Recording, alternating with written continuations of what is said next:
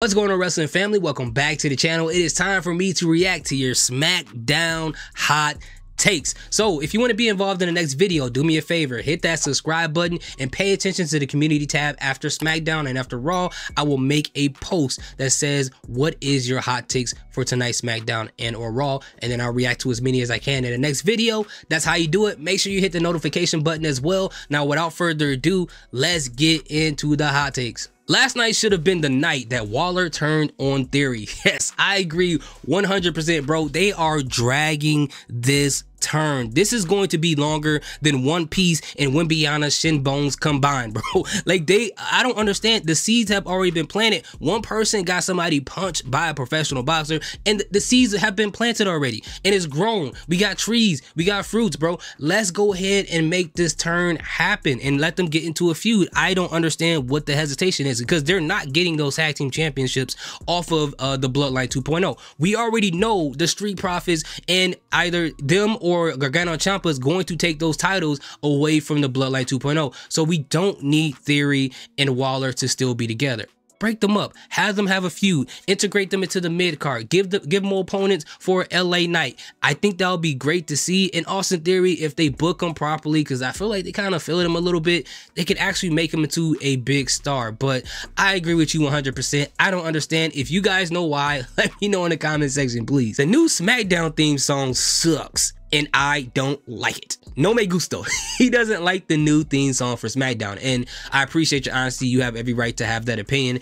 And I will say this for me, when it comes to this theme song with Megan Thee Stallion, if you didn't hear it, I think it's just okay. I, I like the beat. I think Megan Thee Stallion does pretty decent on the beat itself. But I feel like it would have been better suited as a theme song for Jade Cargill and Bianca Belair as a tag team. I think it would have been dope as their theme song. But as a SmackDown theme, I think it's just okay. Maybe it'll grow on me over time. I've only heard it one time, so I can't say. But as we stand now, I do like the previous version of the SmackDown theme song from Def Rebel, which is kind of crazy giving Def Rebel credit for making something better than somebody else. Um, their theme song for Nobody Better Than Me. Now, to be fair, for that theme song, when I first heard it, I thought it was basic until over time I went to some SmackDowns and I heard it on the big speakers. It changed my mind. I don't know why bass and songs make me change how I feel about a song, but it happens every single time. But I do like that theme as well. But either way, these two themes are are are okay. They're okay. They they will never probably be my favorites of all time. Obviously CFO Dollar Sign had a great run when it came to theme songs for SmackDown. Even when we go to the OG SmackDown theme song, Jim Johnston, everybody on the ground, do you do, do you do? Like that that theme song, I don't know what they're saying in that song, but that mug gets you hyped and it matched perfectly with the video. Even when they changed the intro video, it matched perfectly with that song. Or if you want to talk about Jim Johnston's Rise Up Volume 3 or Marilyn Manson's Beautiful People, I mean, there's so many different theme songs that I feel like are way better than the two that we got. But they have to cater to what's popular right now and use the artist that's popular now like they did in the past. So I, I'm not mad at them for this theme song. Again, maybe over time it'll grow on me, maybe it won't it is what it is. We can always use a skip button if it's really that much of a problem. But thank you so much for your submission. Cody saying that he's done with the bloodline and then randomly changing his mind for no reason with no explanation it was really dumb. Yeah, I agree with you, bro. When I watched this, I was like, what exactly is happening? I mean, Cody Rhodes, the Super Saiyan pastor, came backstage to Nick Aldis by himself without nobody asking. He said, hey, I don't know what you got going on with your day. I don't know what you eating for dinner, but I just want to let you know I ain't signing no contract. I don't want nothing to do with the bloodline. And the guy is like, okay, that's cool. And then Roman Reigns later on in the night does the exact same thing. Nick Aldis, I don't need you. I don't need Cody Rhodes, and I ain't signing no contract. And then all of a sudden, at the end of the night, guess who's signing contracts? Both of these guys who wasted TV time telling us that they don't need to sign a contract. Makes no sense at all. Now, they got next week to explain it because I really believe on a weekly basis, SmackDown has a section on the script that says Cody Rhodes talks about something. So if they need Cody Rhodes to talk about something, that's something they're going to have him talk about. And we need Roman Reigns to explain why he signed the contract as well because even with them having that, that, that, that fighting between them and the bloodline, I don't know why that convinced them to sign a contract. I don't know if the bloodline punched them in a section of their head to make them think like, okay, it makes sense to do it now.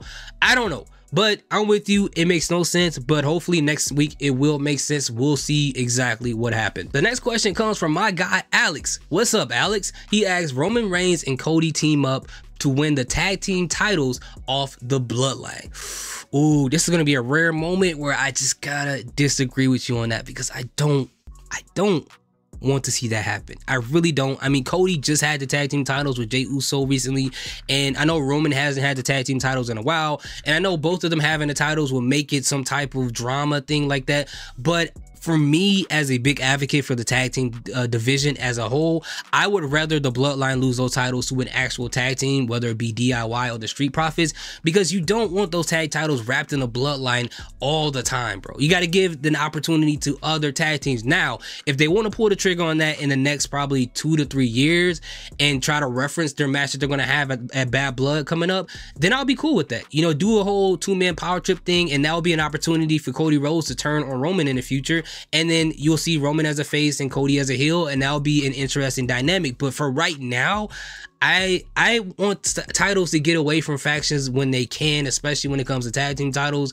And yeah, I I, I wouldn't want to see this, but if it happens, hey, what can I do? Mom, can we get Ricky Starks to WWE? Mom, we already have a Ricky in WWE. The Ricky in WWE. All right, bro. Listen, that's funny, but I won't tolerate no disrespect for Ricky, bro. I love Ricky. He was one of the highlights of the night, and that was funny though. And the thing is, when he was walking down the ramp, I thought he was Adam Pearce at first, and I was like, what? Adam Pearce got back in the trunks because if you didn't know, he used to wrestle in Chicago. So I was like, what is going on? Until I start to see the fur on his body, and I'm like, wait, this guy is wearing a mink vest. Like, what? What is going on here? And then they explained that he was George the Animal Steele's kid. So I was like, okay, that explains why there's six inches of hair all over this man's body.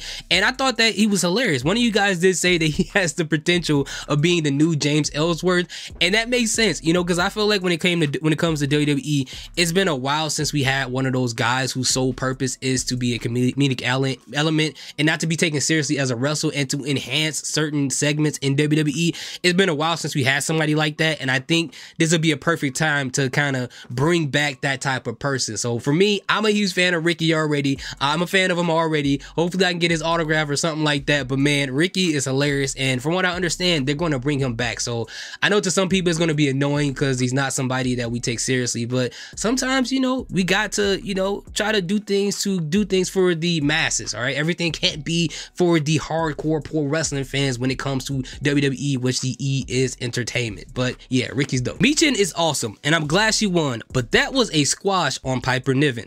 The match lasted exactly 120 seconds, and Michin won clean. That was fast even by WWE speed speed standards.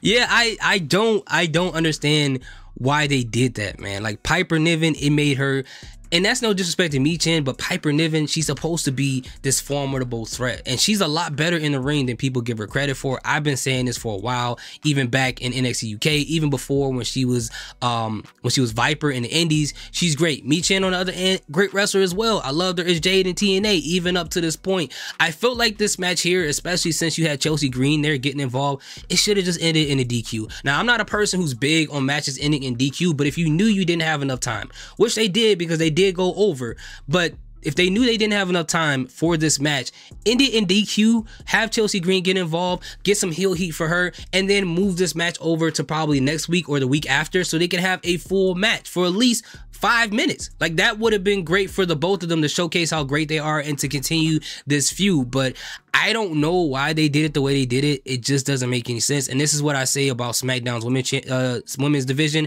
And I'm only talking about SmackDown because we're talking about SmackDown, its brand. If we're talking about Raw, then I got a whole different thing to say about them over there. But I 100% agree with you, man. Melo should be the one to beat LA Knight for the US title. Hayes has been on the main roster for a while, and things he's done, like Money in the Bank and the Andrade feud, has been very impressive. And that is because Melo is really good in the ring. He is impressive. Like watch him back in NXT. He's done a fantastic. He always puts on a cling every time he steps in the ring. And the same could be said about Andrade Cien He's really good in the ring. So either gentleman, they're really great. I, I love the fact that they put these two in a match together and they put on that banger at SmackDown. Now, as far as how long Carmelo has been on the main roster, he's only been there for about probably four to five months because I think the draft was back in April. So I don't know if that's a reason to give him the title, but I will say this. I think what they're doing now is prepping him to take that title off of LA Knight. I know a lot of people were pretty upset about the fact that he lost against Andrade, but people have to understand that they're prepping him and building him up. So when that moment comes to where he takes that title off of LA Knight, it will make all the sense in the world. It will feel a lot more rewarding. I don't think that match against Cody Rhodes at the draft night and for him putting on that match with him was a mistake. That was WWE showing like, hey, this guy is talented. He's going to be our future star.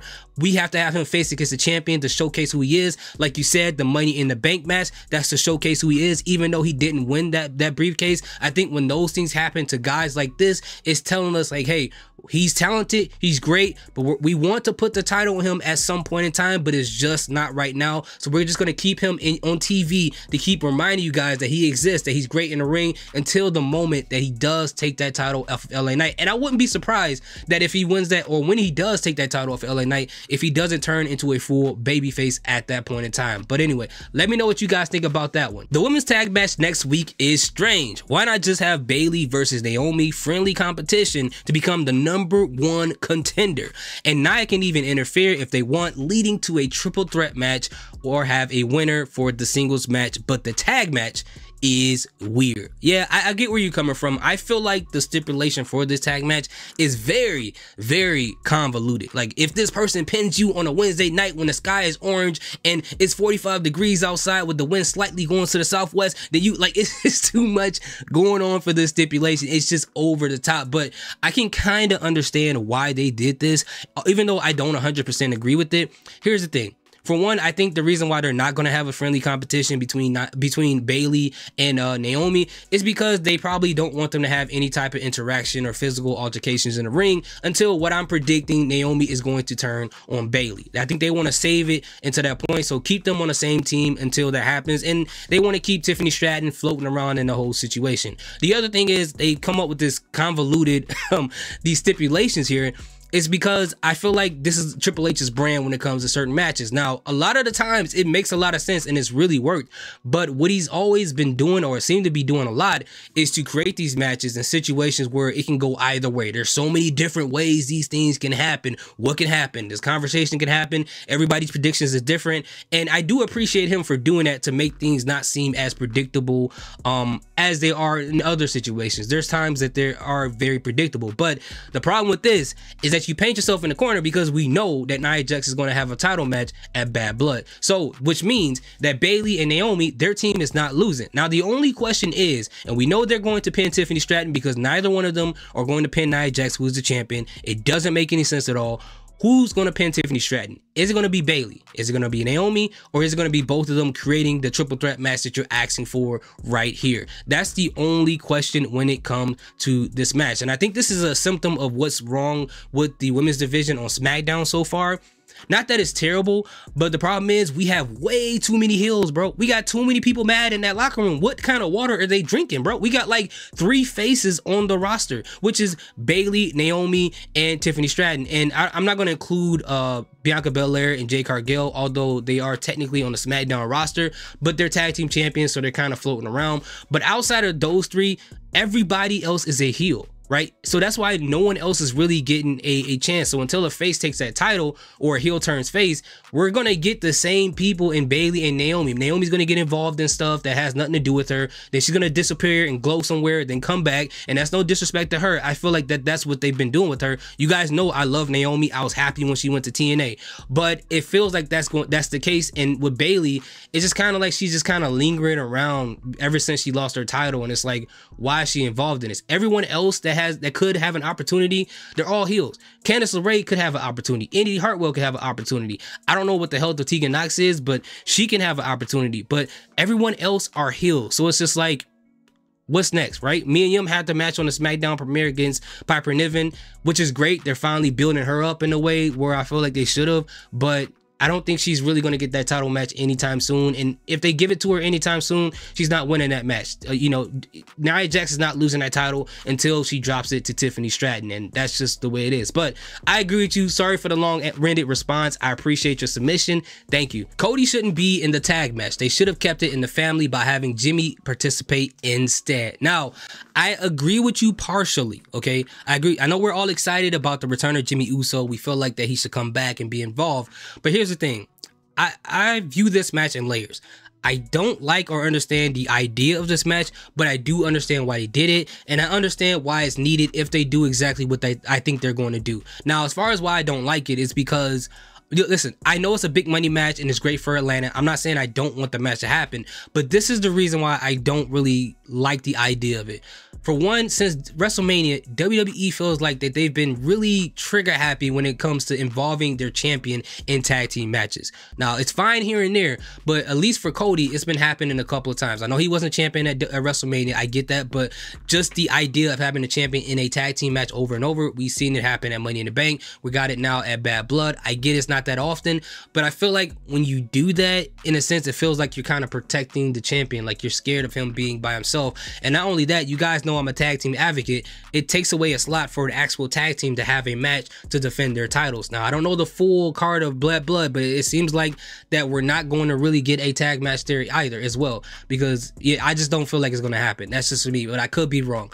Um, but when you do that, especially with Cody Rhodes, it feels like you don't trust in his title reign and you're admitting that we don't have enough for him to do. And you got the bloodline storyline happening here that's picking up more momentum with what one of the, if not the biggest stars in WWE in Roman Reigns, one of the, if not the biggest rising star in WWE in Jacob Fatu. They are taking up all the momentum and it feels like WWE is afraid that if Cody Rhodes does something that does not involve the bloodline, they're gonna the bloodline is gonna pick up so much momentum and our champion is gonna suffer because he's gonna get devalued as time goes on because no one's going to focus on the supposed star of this brand. So what do they do? They take him and they get him involved in this bloodline storyline. And I feel like they're doing this to kind of keep the momentum around him until Randy Orton turns. And I feel like at that point, they will feel comfortable with uh, Cody Rhodes going to do something without the bloodline because they feel like that feud can pull a, a lot of momentum and be a big money match to where that feud and the bloodline thing can happen at the same time. But for right now, I feel like they're protecting them. The other thing is I feel like that I get that it's a big money match and it got your champion involved in it, but it just feels like that Cody really have no real importance in this match. Like everyone else has a reason to be there for the most part, but not Cody. Outside of just the can they coexist storyline or the gimmick that Vince McMahon talks about all the time, between him and Roman Reigns. Outside of that, I don't see any reason for him to be there. He doesn't have a, a, a beef with Jacob Fatu, and I don't know if they're going to build up a match between him, Jacob Fatu, in the future. That could possibly be the case, but he doesn't have a beef with him as we're talking about. He already beat Solo Sikoa twice in the ring clean, so there's no reason for us to even care about what happens between those two. And him and Roman's on the same team, so the only thing is like, will Roman turn on Cody? We know Cody's a good, upstanding citizen, uh, the Super Saiyan pastor, as I call him. He's not going to do anything uh, crazy in the ring to Roman Reigns. I don't feel like that's going to be the case. But outside of that drama, it's like, why should we really care about his involvement in this match? And I love Cody Rhodes. This is no disrespect to him.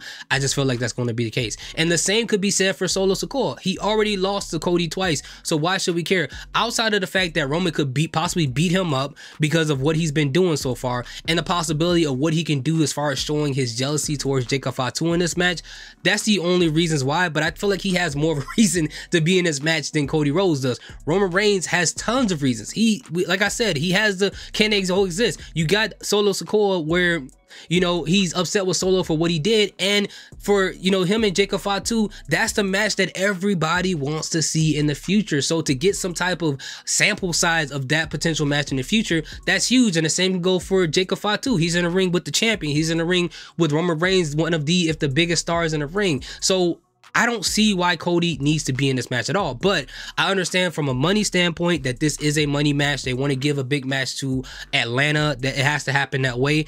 And I'm sorry, I'm going off topic as far as Jimmy Uso, but I think if Jimmy Uso and Jey Uso comes out and fights off Tama Tonga and Tonga Loa. Like if they have it to where Jey Uso somehow oh Jimmy Uso, I'm sorry, comes out to help as the Bloodline 2.0 is jumping Cody Rhodes and and um, Roman Reigns at the same time. If, if, if Jimmy comes out to help and eventually he gets attacked and then Jey comes out for the sole reason to help out his brother, then I think that would make sense. And then we could have it where Jey Uso isn't really a part of the bloodline, but he's just kind of pseudo a part of it to be involved in that Survivor Series match and then he can get out of it to because he says, Hey, I'm doing this for my brother. I don't have any respect for uh, Roman Reigns at all or anything like that. This is solely for Jimmy, and that's about it. And I think they can play that type of storyline when it comes to that. And I think that will happen. I don't think Jimmy needed to come back on SmackDown this past week. But anyway, sorry that I'm long winded. That's just my thoughts about that whole thing. Let me know what you guys think in the comments. So that pretty much wraps up my hot takes for this week's SmackDown. Thank you guys so much for participating. If I didn't get to your hot take, I apologize. More than likely, it could be that other people had the same hot take, so I figured I would hit more birds with one stone, or I just didn't have enough time. But again, I appreciate each and every one of you guys. I hope you guys are having a great day. Happy football Sunday. Let me know what your teams are in the comment section. I appreciate you. Salute. Peace. Have a